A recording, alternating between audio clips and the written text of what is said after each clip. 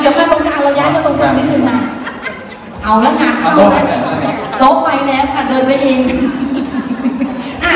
ชิปนี้จะมีชิ้นเดียวแต่ว่าใกล้จะวันแม่แล้ว อีกไม่กี่วันนะ เดี๋ยวให้น้องและท่านพูดถึงพูดถึงวันแม่นิดนึงนะคะแต่ใกล้วันแม่แล้วนะตรงนี้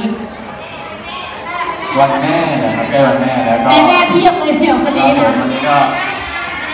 ให้คุณแม่ทุกคนเป็นแม่ผมแล้วกันนะ นะครับ ก็ขอให้ทุกคนสุขภาพร่างกายแข็งแรงนะครับมีความสุขมากๆครับ แล้วก็มีแต่รอยยิ้มตลอดปีตลอดไปนะครับแข็งแรงอยู่ในน้องผมสั่งให้ลูกๆทุกคนรักทุกคนครับดีจบแบบหวานหวานๆรักทุกคนสวัสดีบ้านนี้เมเดียนนะครับงั้นก็ฝากติดตามคลิปด้วยนะครับ กดไลค์ กด subscribe ติดตามไปนานๆนะจ๊ะ